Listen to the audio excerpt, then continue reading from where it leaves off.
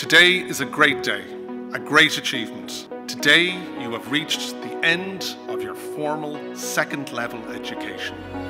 Your hard work and dedication has paid off, and I want to wish you every success in your Leaving Cert exams and your academic career as you move on to university and the ladder of success. You have the epic poise, the epic possibility, and the epic positivity of youth. And I am convinced that all our futures will be enriched as you move on to the next stage and beyond. Mould the future to make it a better place, dear students. This is not an ending, but a beginning.